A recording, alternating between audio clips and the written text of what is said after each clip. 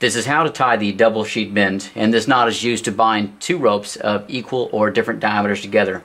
Now this is an extremely strong knot, very durable, very dependable, and can be used to hold or tie back large and heavy loads. So let's go ahead and show you how it's done. The double sheet bend is very similar to the common sheet bend with the exception of an added step. So for this demonstration, let's assume that this left hand yellow rope is smaller than the right hand red rope. So again, yellow rope smaller, right red rope larger. So the first step is going to be, as you would with a common sheet bend, to make a loop out of your right hand rope.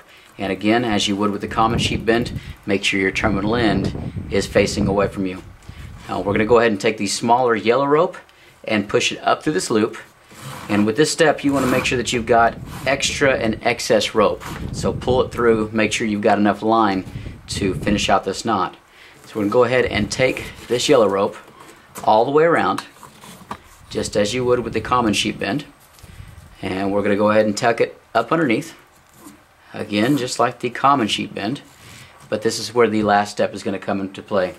We're going to come around the back side of our red rope one more time and we are going to tuck up underneath one more time just like that so you see two loops right there and we're going to start to tighten up this rope okay so tighten it down cinch it up and take a look at that that is your double sheet bend and that is a very very dependable knot go ahead and cinch it all the way up and this one is used for heavy loads and you can bind again two sizes of rope together and it will not slip at all, even when the load is taken off.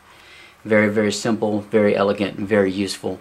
Now, even after it's been loaded on, it should be fairly simple to untie because of its construction.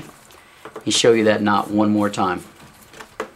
So go ahead and take your right hand rope, put it on a bight, make a loop out of it, making sure that your terminal end is away from yourself.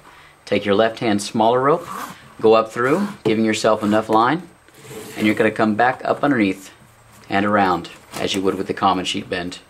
Pull up and tuck under, just like so.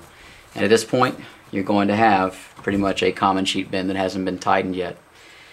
One more step, go ahead and bring the end or the tail of your rope around one more time.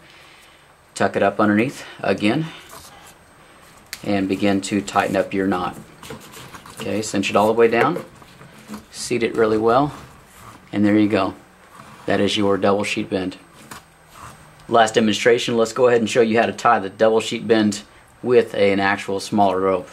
And take your right hand larger rope, make your loop, terminal end out, take your small rope up through, back and around, and underneath, just like so. And at this point, you have your common sheet bend. You can go ahead and tighten that up if you just wanted the common sheet bend. To make the double, you're going to come around one more time and you're going to push up underneath with the end of that smaller rope again just like so now at this point you have a double sheet bend that has not been tightened yet. So you're going to go ahead and start tightening down on the rope. Squish those two ends together. Make it look nice and pretty. But there you go. That is your double sheet bend. Alright guys like and subscribe and as always till next time